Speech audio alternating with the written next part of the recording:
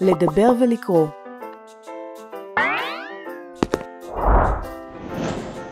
בעולם של היום אין דבר יותר חשוב מהיכולת לדבר ולקרוא.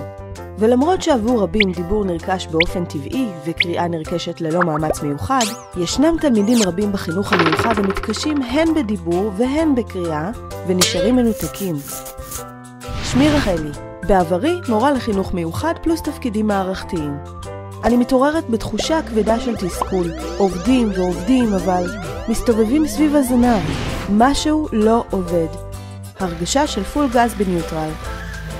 התסכול לא מרפה, מה בעצם יש בשטח? בחינוך המיוחד אין ספרים ואין תוכניות ייעודיות.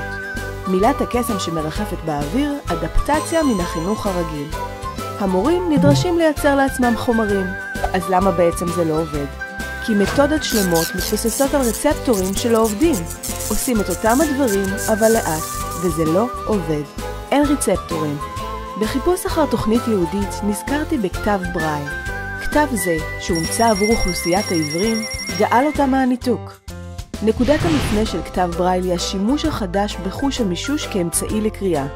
ברייל השתמש בעובי כדי לייצר אבני בניין עבור אוכלוסיית העיוורים. מהי בעצם נקודת החוזק הנסתרת של האוכלוסייה המדוברת? במה נאחזים? אז איך בעצם תגרמו לי להיות חלק מהעולם האורייני? כיום, לאחר שנים של עבודה מעשית במחקר ופיתוח ובמימון פרטי, הבנתי אילו חומרים פעילים יכניסו את אותם הילדים לתוך העולם האורייני. אתה תצליח לדבר ולקרוא. שמונה שלבים בדרך לכיבוש הסמל.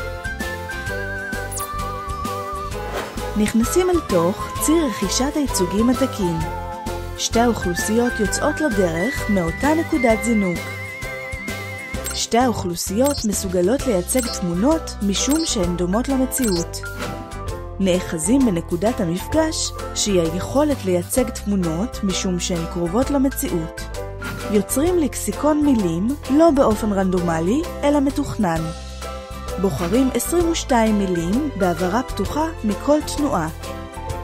מייצרים צימוד של תמונה ומילה והליך התערבות מלאכותי.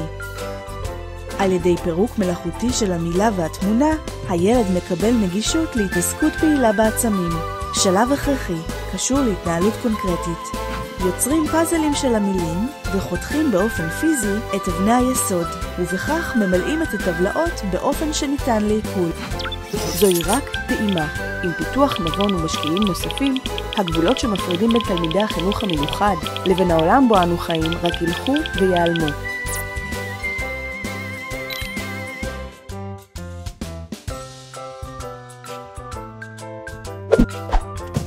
לדבר ולקרוא, הברייל של החינוך המיוחד.